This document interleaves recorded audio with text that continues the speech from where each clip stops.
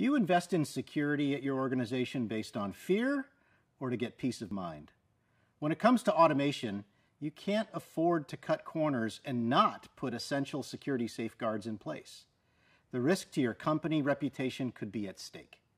Atul and Ken will show you how to invest in a defense in depth strategy for cloud RPA that is not as hard as it might seem. Let's take a look. Good morning, good afternoon, and good evening, and welcome to the Spotlight session. I hope you have been enjoying the sessions with Imagine till date. My name is Atul. I'm the product marketing lead for security and Watchdog with Automation Anywhere. And today I'm joined by our very own Ken Ross, who is the Senior Director of Product Management, overseeing all the features related to cloud and security. And today we're going to be talking about defense in depth and the new rules of security for RPA in the cloud. Now, before we get started, there's one number that you may be interested in. In the last 15 years, there have been over 12,000 data breaches and cyber attacks on enterprises all over the world. And of that 12,000, over a thousand has just been in 2020 alone. Now, given the current state of the scenario, it is kind of natural for all the SecOps and the IT teams of enterprises to kind of living in this dual reality of sorts. On one side, you're kind of worried that your organization may be the next victim of the data breach. But on the other hand, you also kind of have this sense of peace. Well, not maybe peace is not the right word, but uh, a sense of assurance that you have done everything in your power to make sure that your enterprise is safe from all these cyber attacks at that point in time. But as organizations are growing and the number of people joining your organization increases, so do the complexity and the sophistication of the processes that is adopted by the organization. Every department would have maybe 10x or 11x increase in the employees, and the number of applications that they adopt to help with their day to day processes also increases by hundreds and thousands. Now, to ease the complexity and the sophistication, organizations also adopt and look to adopt automation solutions now, given all the security concerns that the organization may have, they should not have to invest more resources and money into securing their automation platform as well. And that's where we come into today's topic, where we talk about defense in depth for every single enterprise all over the world. Now, defense in depth in itself is a very vast topic. So we have filtered it down into three layers. One, where we talk about the secure cloud and the platform basically how do you protect yourself from external breaches. The layer below that is the governance and compliance within your organization itself to protect the processes between departments. And at the very core, the data compliance or the data protection on how do you protect your data and how do you ensure your data is safe when you bring in automation into your ecosystem. Now, the simple answer to that would have been adopt Automation 360 the only cloud native AI powered, most scalable platform, automation platform available in the market today. And we have built Automation 360 from the ground up, keeping in mind that security is the most crucial piece for this. And that's why it is the best in class cloud security, governance, and compliance. Now let's look at the outer layer of this defense in depth that we have in front of you. We start off with securing the cloud and the platform. Now, you may think that installing firewalls and installing the anti malware software is good enough to keep your platform safe, but you also need to have a dedicated security personnel who is monitoring your ecosystem 24 7. They need to be aware of all the tiny things to look out for that indicates that a breach is happening or how to close the breach and keep the data secure. Now, let's say, God forbid, the breach does happen. What do you do? What is your plan for business continuity and resiliency? It need not even be a breach. Maybe it's a natural occurrence like an earthquake and your data center is affected. What do you do in that scenario? And finally, we have the privacy and GDPR compliance. Now, one of the good things about cloud is that you can set up your data center anywhere in the world. But one of the cons is that you do need to be compliant with your local government's ordinances and compliance requirements. And one of the most prominent ones is the GDPR, which pretty much is an all encompassing uh, set of compliance requirements that ensures that their citizens' data is kept private and secure. Now, to talk more about this, I would hand it over to Ken. Thanks, Atul. So just to provide a little bit more detail here, first of all, from the dedicated security infrastructure side, we have two teams. We have a cloud ops team whose main responsibility is to focus on doing the deployments and the updates globally. And then separately, there is a SecOps team providing oversight and also providing that defense in depth in terms of the way that we both set up the cloud, including the access, but also the way that uh, we actually do um, defense in monitoring at all the main layers. So we've got defense at a network layer and an application layer. And the way that we do the deployments is based on a containerized deployment under Kubernetes. This is part of the cloud native deployment piece. And it allows us to um, basically have a very resilient deployment. And this then ties into high availability and the business continuity side. So everything that we deployed on that infrastructure is highly available within a region. And we have um, strict policies around escalations around any incidents and disaster, disaster recovery processes that in the event that a whole region would go down, we can kick those in. And we have um, solid processes around recovery of all the tenants in that region within a six hour time frame and it's based on daily backups. So there's a the, the recovery point objective is within the last 24 hours. So that provides additional assurance over and above the high availability that we provide as part of the base deployments. And then lastly, Atul was mentioning the data privacy piece. So there's a big focus on the processes and the um, around GDPR, you know, the typical um, uh, personnel information handling that handling any asks around reports on individuals that uh, we can provide and also deletion if necessary. A little bit more background here on some of the certifications that we have. So this, these, the uh, SOC 2 Type 2 certification um, is in place, and that basically assures customers that we're using the best practices. We have been doing this over the last year, and this is often used for audit purposes to prove that what we're doing in terms of delivering the service is both best practices and secure. Uh, overlaid on top of that, we've got ISO 27001, which goes into more detail around information security um, a, uh, processes, procedures, and the controls that we put in place to make sure that the data is is secure. The verified continuous certification is more focused on the development process, and we have a secure development lifecycle that that ties into. And then from a data privacy perspective, we conform to everything required from GDPR and some of the other regions in the rest of the world. Uh, thanks, Ken. Could you elaborate a little bit about the SOC 2 Type 2 certification and uh, what's the process involved? Yeah, sure. It's a, it's a certification that you get based on a third party audit. And it's basically going through all of our cloud ops and SecOps processes, procedures, controls, um, making sure that all of the updates and the way that we deploy are handled properly, that the security meets their best practice requirements, and also the data privacy piece. And yeah, it's a fairly onerous um, audit that we go through.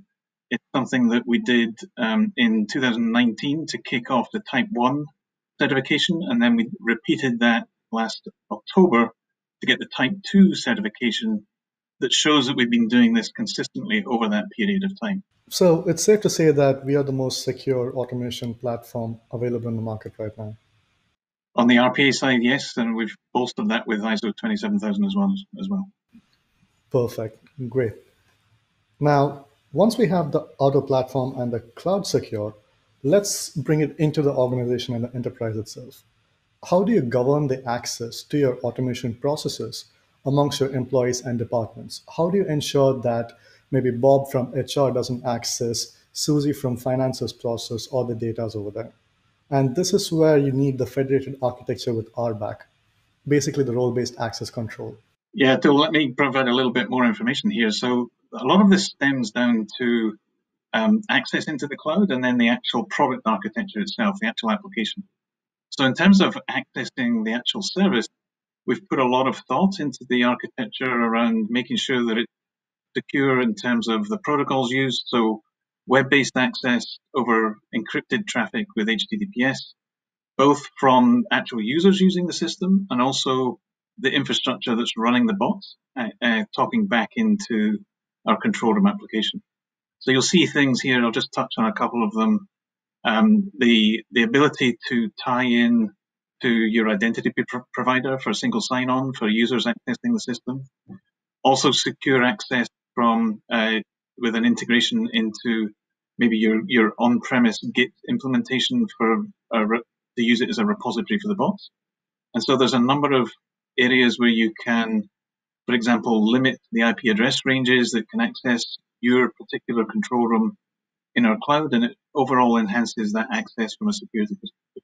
So we have two demos lined up for you. One which shows the credential vault that we have in place in our Automation 360 platform to keep all your credentials secure and any other sensitive data that you may need your bots to interact with. And then we will show you an RBAC uh, feature that we have that ensures that the bots and the data that you want to be segregated amongst departments can be done so in a really simple manner. We'll start off with the credential vault now. So in this demo, we're going to show you a bot uh, accessing Salesforce, leveraging, leveraging credentials that are stored in our credential vault. Now, you'll see here this getting set up. Uh, this is often set up, um, the actual access to the credential vault is often governed by a separate user who's probably on the InfoSec team and allows the credentials for Salesforce to be set up within um, a, a locker within the credential vault that's within our application. So here you can see the locker is being set up and often customers will set this up specifically for uh, you know a locker per department, for example. And then you'll see here us setting up the access for a user so that they can build their bot and have the credentials being taken automatically by the bot from the credential vault. So you're storing the credentials securely encrypted and the bot can get access to an individual's credentials to be able to do the automation. That was fairly fast, but what it was showing was adding both the username and the password, and you can see the bot running here. And it's accessing, it should be able to log into Salesforce correctly, there we go, with by leveraging those secure credentials. In this demo, we're just highlighting this, the separation of roles and the role-based access control that you can set up in the control room. And again, this could be for an InfoSec team, for example, set teammates setting up the credential vault, or it could be, say, users within a finance department. And you give them a certain level of access to the bots within the finance department and also the ability to build and run their bots. But you don't necessarily give them the ability to then uh, run it in production, for example. In this case, we're giving them the scheduling capability. And you can just see that you've got fairly granular control over how an actual user is set up and what they can do in the system and what they what they cannot do in the system. Thanks, Ken. And it's kind of good to know that uh, RBAC and Credential Vault together provides our users a granular level of control over the data and everything that's being processed through our automation system. Now coming to the very core of our defense in depth how do you protect your data? All the data breaches and cyber attacks that have happened on all the enterprises till date, the perpetrators have been behind the data that the company has or the enterprise has. Now, you may have all sorts of encryption in place, but you do have your bots working side by side with your knowledge workers, touching upon this sensitive, crucial information. Of course, you do need to have a secure architecture in place. And to talk more about that, we have Ken now. Yeah, thanks, Atul. So this is the, the architecture diagram here. We're showing the customer infrastructure on the left-hand side and the our Automation 360 cloud deployment on the right-hand side.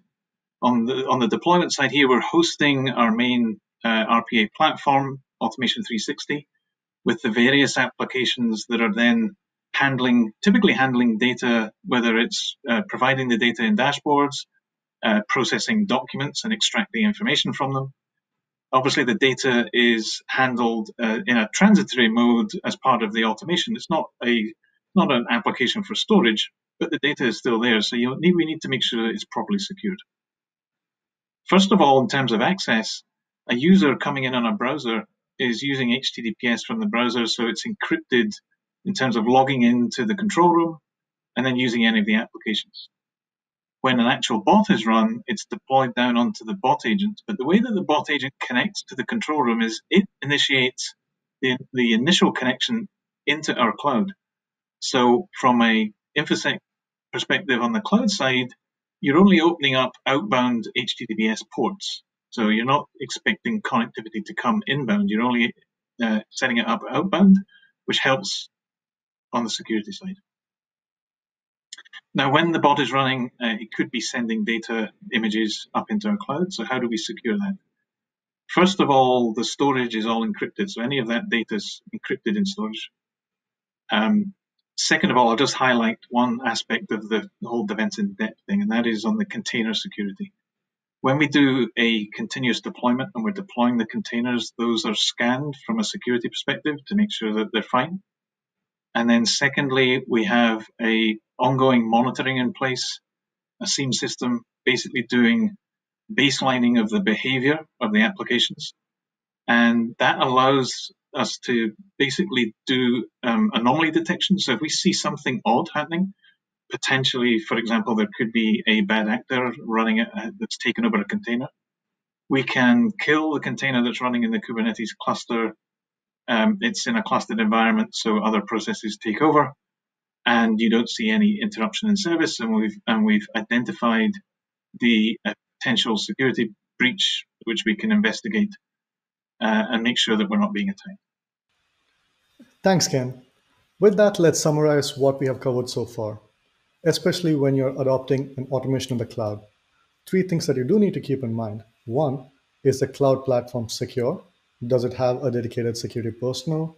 Is it compliant with all the policies that are in place set by the various governments?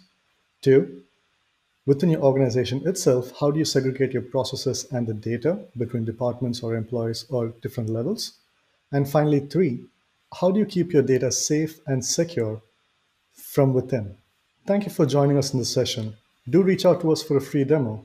Take care.